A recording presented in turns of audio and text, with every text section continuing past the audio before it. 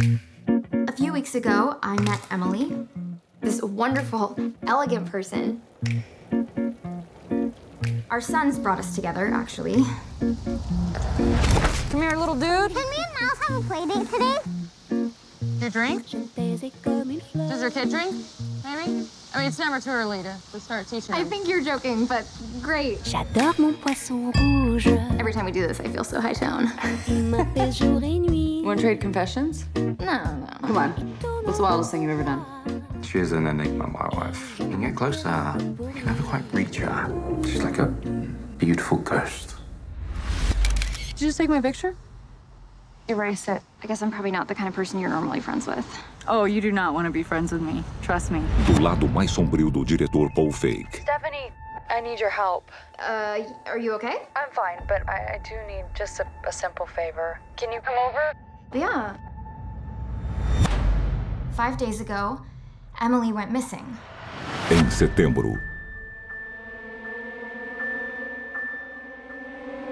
I'll warn you, you go poking around in her past, you're gonna find something that is terrifying. She was not a normal person like you or me.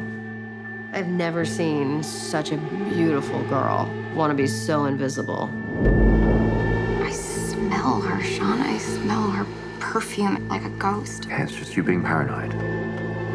I saw my mom. She told me to say hi to Stephanie. o que aconteceu com Emily Were you aware that he took out an extra $4 million life insurance policy on Emily before she disappeared? People do terrible things for their own reasons.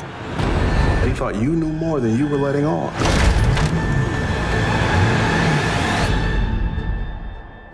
I want to know your secret. Você me viu?